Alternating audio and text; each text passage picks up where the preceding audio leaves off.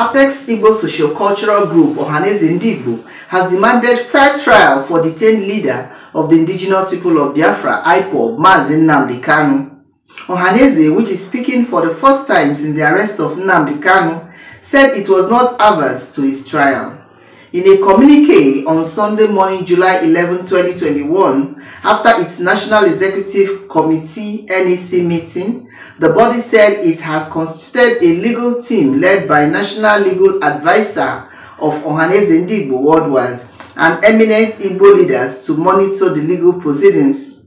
This is said is to ensure fair trial for the IPOB leader. The communique signed by its spokesman Alex Ogbonnia added that Ohanaeze identifies with grievances of Igbo youths on the marginalization and menace of headsmen, among others in the region.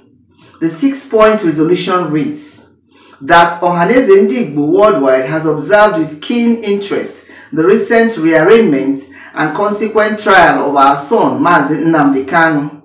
That inasmuch as Ohanaeze Ndigbo is not averse to his trial, we however submit that he should be tried within the ambit of the laws of the Federal Republic of Nigeria and in line with global best practices.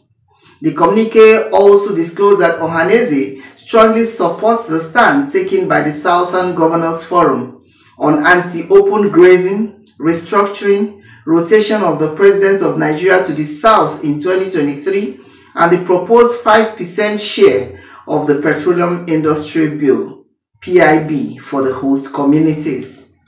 That we identify with the Igbo youth in their grievances with respect to Igbo marginalization, the menace of the Fulani headsmen, etc.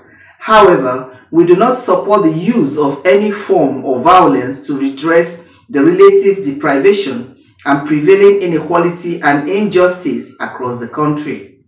Ohanaeze, however, appealed to the Igbo youth to be law-abiding and allow their leaders and stakeholders address those collective grievances through meaningful dialogue and negotiations. It further enjoined Ndigbo, especially the youths, to take the ongoing voters registration exercise seriously, adding that this is the only means that guarantees effective participation in Nigerian politics as a sine qua non to achieve our goals and aspirations in the Nigerian project. From Lagos, this is Tina Timothy, News Express Nigeria Television.